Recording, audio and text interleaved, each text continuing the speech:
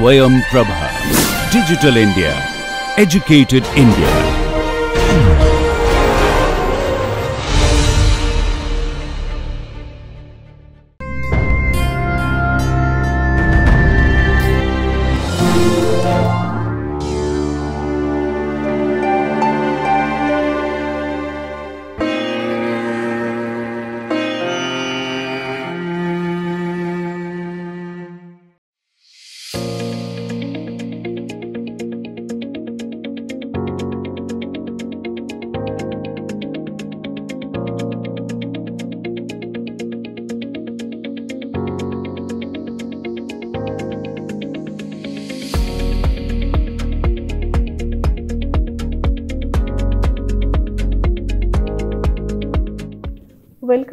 Lecture 1 to the course of rings and modules.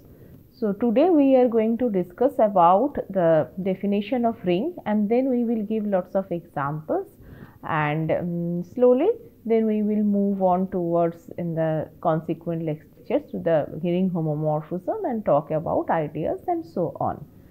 So today uh, the we will talk about mainly various examples of ring theory and we will uh, give lots of uh, examples and define what is a ring. So, group theory is a uh, prerequisite for this course and we will assume the basic group theory for this course. So, let us start. So, before giving you the um, formal definition of ring theory, uh, I will try to uh, just recall what is the definition of group and then slowly develop the theory. So, let us recall what is the definition of group. So, a group is nothing but a set together with a binary operation. So, what is a group? So, a group is a non-empty set G together with a binary operation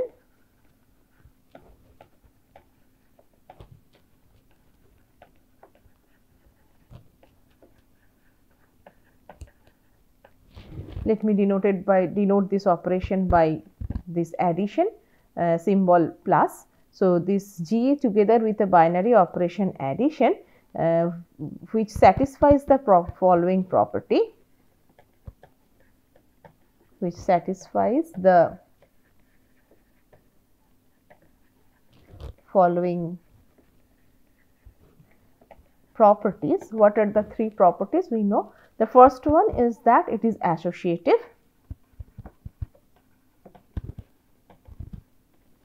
Then the second one is the existence of identity.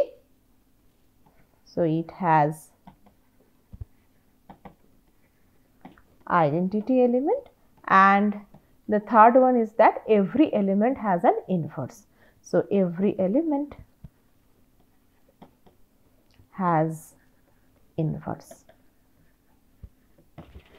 So, if a group is nothing but a non-empty set G together with a binary operation plus which satisfies these three following properties then it is called a group. Then G with respect to this operation is called a group. This we already know from your previous group theory course and uh, you know examples of groups also. So, what examples usually we know? So, for example, the most common examples are the ring of in uh, sorry the group of integers. So, z with respect to addition and then uh, rational numbers with respect to addition and then real numbers with respect to addition and complex numbers with respect to addition all these are groups. These are examples of groups. So, we have seen uh, the definition, we have just recalled the definition of group and seen the examples. Now, if you look into, uh, before giving you the formal uh, definition of ring, let me give you uh, some examples and then try to motivate you towards the definition of ring. So, let us look into the first example of group which is nothing but this uh, group of integers with respect to addition operation. But if you look into this um, integers, uh, we can see that there is another binary operation is there in integers. What is that? That is the multiplication operation. So, if you to choose two integers and then multiply again you will get an integer. So, let us see with respect to this multiplication operation what are the properties that this uh, z satisfies. So, um, first we will investigating first we are investigating this z plus so, examples of rings. Though I have not yet defined rings, but I am trying to give you some examples which will motivate you towards the definition of ring. So, the first one is Z. So, you can notice that of course, Z with respect to addition is a group we have we know. In fact, it is much more than a group, it is in fact an abelian group. So, this is an abelian group. And then we can have that we have another binary operation. We can see that we have another binary operation on Z. That is multiplication operation.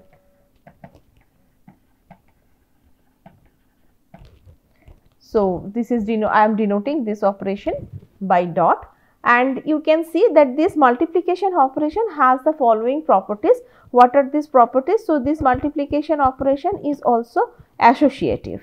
So, this is associative and then we have this identity element. What is that identity? Multiplicative identity. That means you can see that if I multiply any integer with 1 and then I will get back that integer this is true for all A belongs to Z.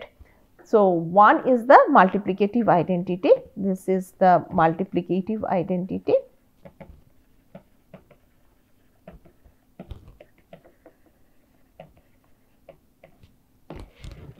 So, then you can ask whether it forms a group with respect to multiplication or not, but you can see that uh, the inverse of an element does not exist, the multiplicative inverse.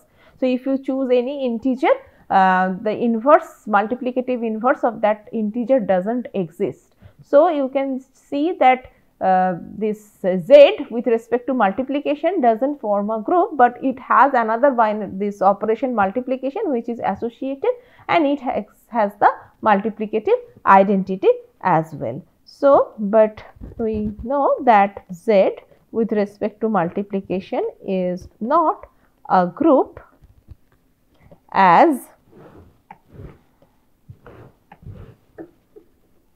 as it does not have as if as the element does not have multiplicative inverse as the elements of set does not have multiplicative inverse.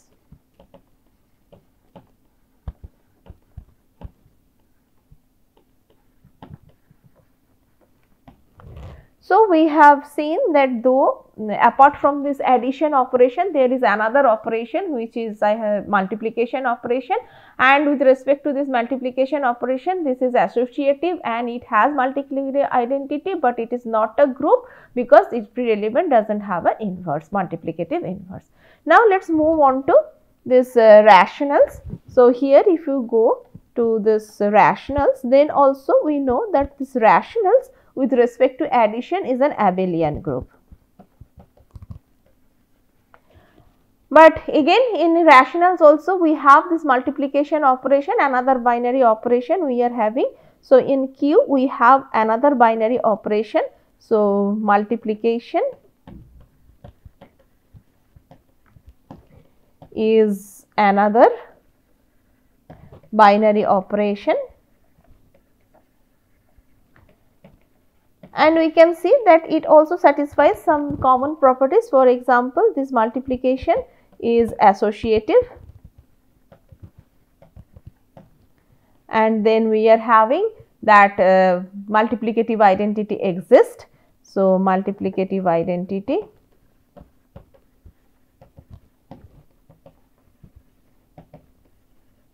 which is nothing but 1 exists But again you can see that this q with respect to multiplication does not form a group because though every non-zero element has a multiplicative inverse but the 0 element does not have a multiplicative inverse. So, but q with respect to multiplication is not a group as the 0 element as this element 0 does not have a multiplicative inverse.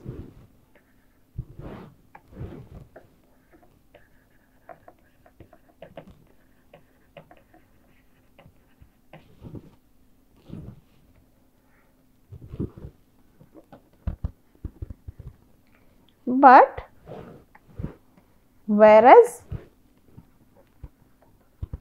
every non-zero element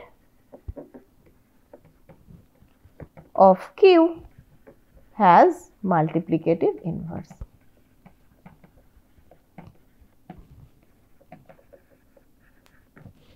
But it um, for us it is enough that Q is also having another binary operation which is associative and it has the multiplicative identity. Now, if you go on and then look into this uh, real numbers and or this uh, um, complex numbers then you can see that in both the cases there are two binary operations. So, in both the cases there are two binary operation one is the addition operation and one another is the multiplication operation and with respect to addition it is abelian group and with respect to multiplication there are three that two properties are satisfied one is that associative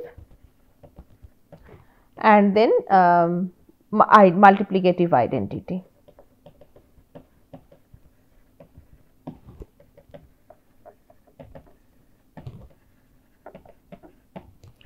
And again if you look into like uh, similar to the rationals, if you consider all the non-zero or real numbers or non-zero complex numbers then they have multiplicative inverse. So, we can conclude that all the non-zero rationals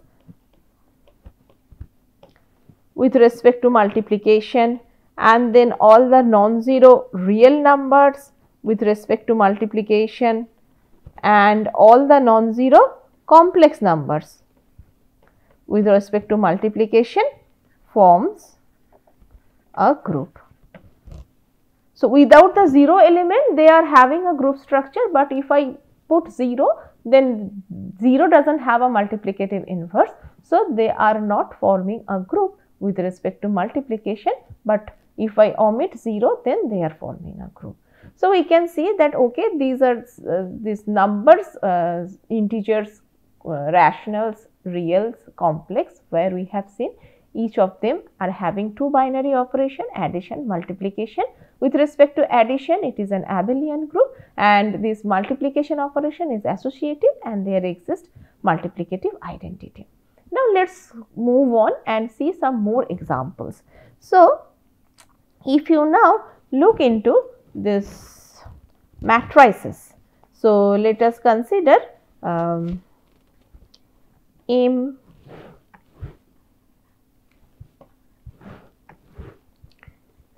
M n cross n R. What is this?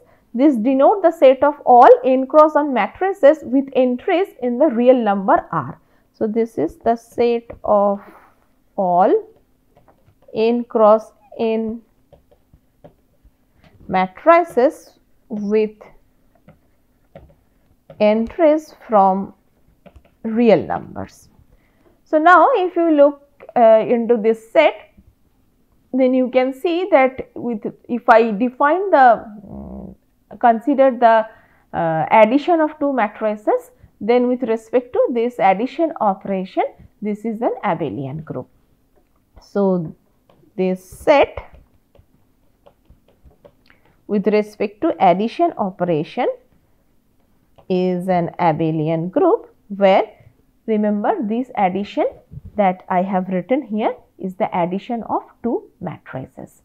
Now, we can see that apart from this addition operation there is another operation that is the multiplication operation. So, if you take two n cross n matrices and then multiply uh, them then you again get a n cross n matrix. So, we have another binary operation that is matrix multiplication. So, this is multiplication of matrices.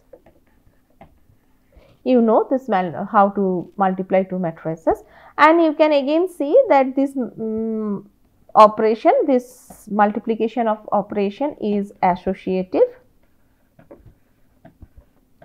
and again I have the existence of identity element and what is the identity element here? It is nothing but the identity matrix because if I multiply any matrix with the identity matrix I will get back that matrix only. So, here the identity element is nothing but the identity matrix. So, 1 on the diagonals and 0 uh, the rest of the entries. This is the multiplicative identity.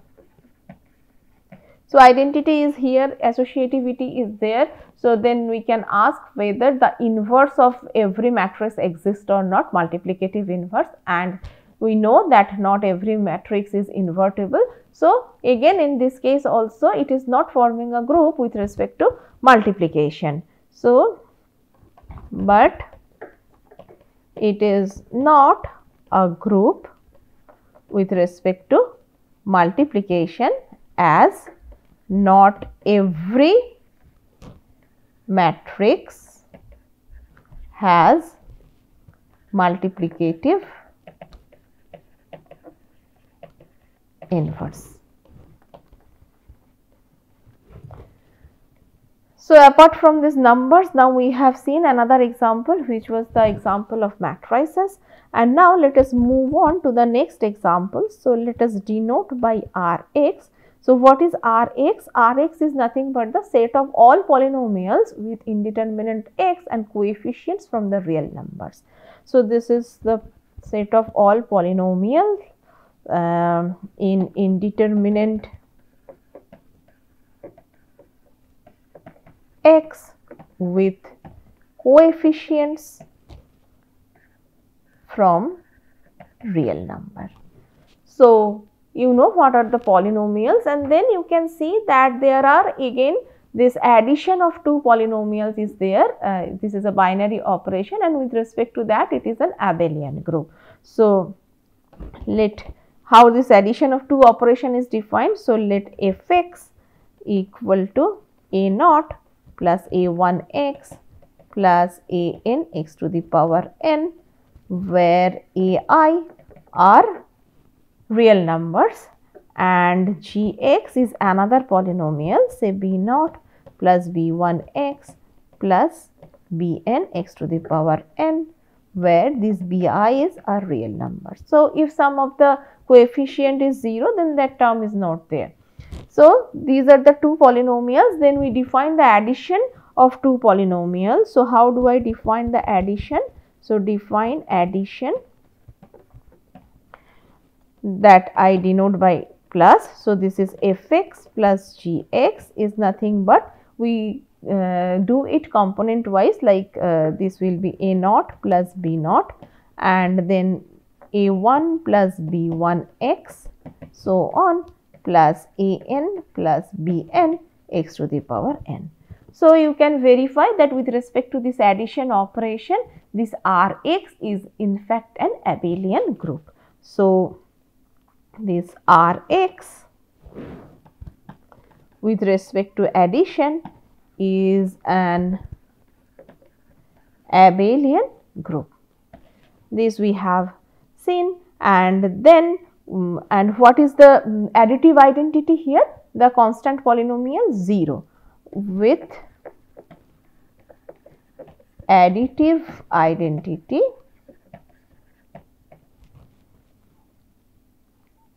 constant polynomial 0. The 0 polynomial is the additive identity. And we have this multiplication of two polynomials. How we define the multiplication?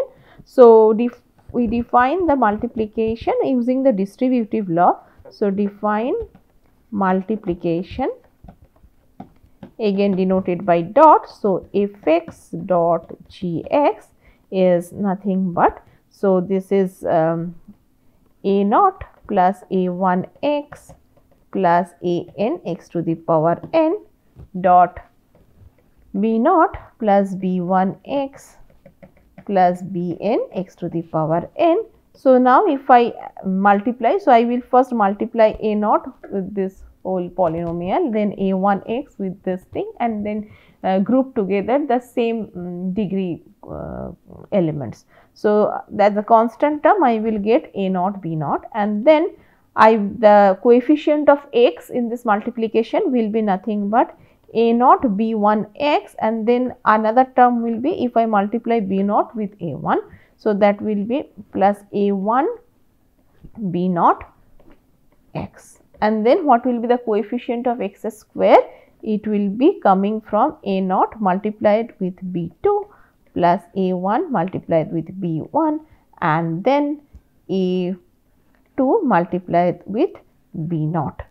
This is the coefficient of x square and like in this way you can um, find out the other terms. So, more generally what we can write the coefficient so, the coefficient of x to the power k is nothing but summation of a i b k minus i i from 0 to k. So, this will be the coefficient of x to the power k in the multiplication of these two polynomial f x and g x. And then you can see that this multiplication is again a binary operation of course and it is this multiplication is associative and we have the multiplicative identity which is nothing but the constant polynomial 1. So, multiplic multiplication is associative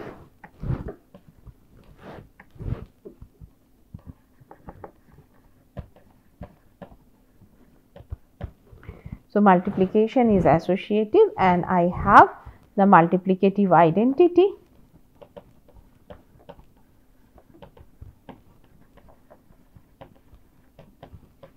is nothing but the constant polynomial 1. So, we have uh, given a couple of examples. Now, the next example that I would like to give you. So, let us consider CR. What is this CR? This is nothing but the set of all continuous functions so, set of all continuous functions from R to R. So, here also I can define the addition. So, how this addition is defined? Addition operation.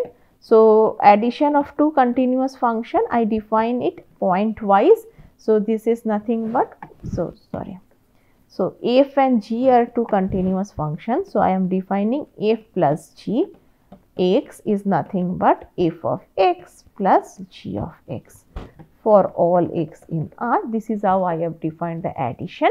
And you can verify that this set with respect to addition is an abelian group. And not only that I have this multiplication operation also So, what is the multiplication? How we define? So, product of two polynomials I am again defining that uh, point wise. So, this is fx into gx. So, you can see that this dot denotes the multiplication of two functions where this dot is nothing but the multiplication of two real numbers because f of x is a real number and g of x is a real number.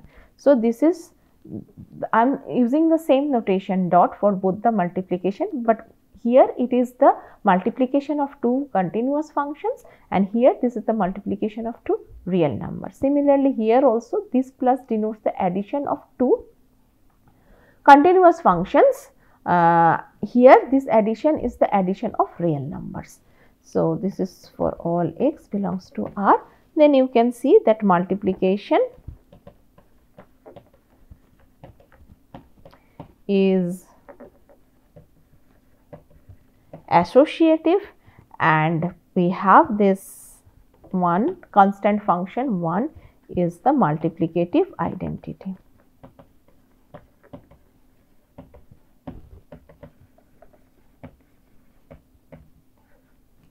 So, here again uh, we can see that not every continuous function has a multiplicative inverse. So, it is not forming a group, but of course, these other two properties are there. So, now I will have one more example that is nothing but the this z um, quotient n z that uh, congruence z congruence modulo uh, a congruence mod n the uh, congruence classes. So, you can see that this is an abelian group with respect to addition. So, how I define the addition? So, here if I denote say L bar plus m bar is nothing but L plus m bar and we have another binary operation that is multiplication. So, how this multiplication is defined?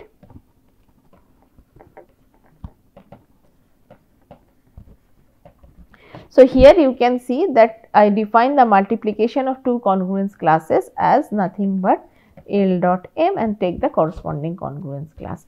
Again this multiplication is associative and 1 bar is the multiplicative identity. So, here multiplication is associative and 1 bar is the multiplicative identity.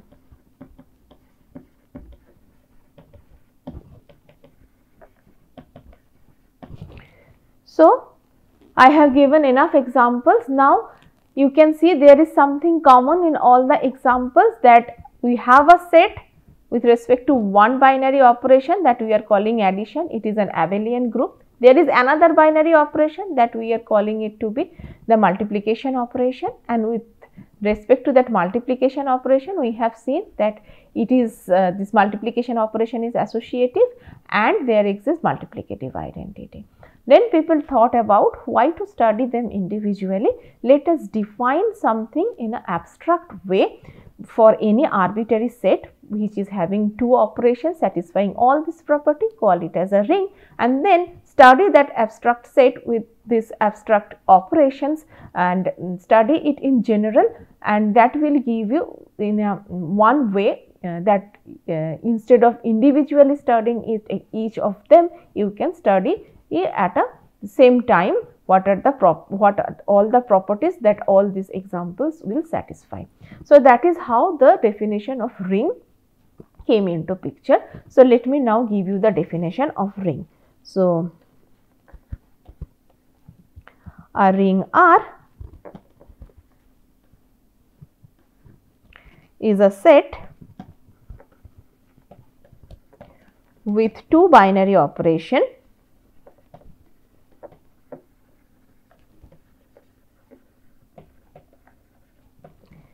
say addition and multiplication.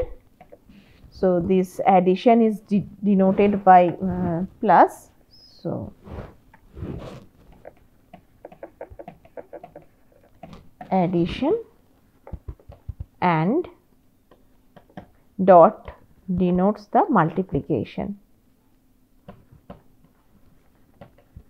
So, we have two binary operations addition and multiplication which satisfies the following conditions which satisfies the following conditions. So, what are the conditions? The first condition is that R with respect to addition is an abelian group the second one is that multiplication operation is associative. Multiplication is associative. What does that mean? That means that A dot B dot C is same as A dot B dot C. for all ABC in R. So, it does not matter whether I am first multiplying B and C and then multiplying A, I will get the same thing if I first multiply A and B and then multiply C. And the third property is multiplicative identity exists. Multiplicative identity exists and is denoted by is denoted by 1 and the fourth one is that since we are having two operations so these two operations should be compatible. So there is this distributive law. So between these two hmm, operation so distributive law is there and what is this distributive law says? So, this says that A plus B dot C is same as A dot C plus B dot C and A dot B plus C is same as A dot B plus A dot C. This is true for all A, B, C in R. So, what is a ring R? A ring R is nothing but a set with two binary operations addition and multiplication and with respect to addition operation it is an abelian group and multiplication operation satisfies this associativity property and multiplication there is exists a multiplicative identity that we denote by 1 and distributive law is also satisfied. Now all the examples if you go previously I have given so let us go back quickly. So, here you can see that Z we are having two uh, binary operations addition and multiplication and satisfies the properties that I have defined for uh, ring definition of ring. Then Q, then R, C and then this matrices also you can see uh, is satisfied polynomial rings and then the continuous functions all of them satisfies these properties. So, that is how we have motivated you with the examples and given you the formal definition of ring. So, now here one more thing that I would like to stress here this addition operation that I have said here this addition that I have denoted here. So, this is just a notation ok. So, it depends on which set we are choosing then this addition will depend on how we are defining it. For example, for real numbers it is just the addition of two real numbers, but for matrices it is this addition denotes the addition of two matrices. Similarly, this multiplication is again a notation it is depends on which set we are choosing and how we are defining the multiplication. So, do not get confused with this plus and dot it does not means that addition and multiplication of real numbers or integers or rationals like thing, but it depends on which set we are choosing and uh, how this operation is defined. Similarly, I would like to mention here that this multiplicative identity that I have de de denoted by 1. So, this 1 is a symbol. So, for integers it is the number 1 whereas for matrices we have seen it is nothing but the identity matrix. This one is nothing but for matrices was the I was a matrix it's not just number 1 and for polynomial it was the constant polynomial and for continuous function it was again the continuous function constant function 1. So, again this is just a symbol to denote and this abelian group has identity. So, this additive identity we denote by. So, let me just uh, say it here additive identity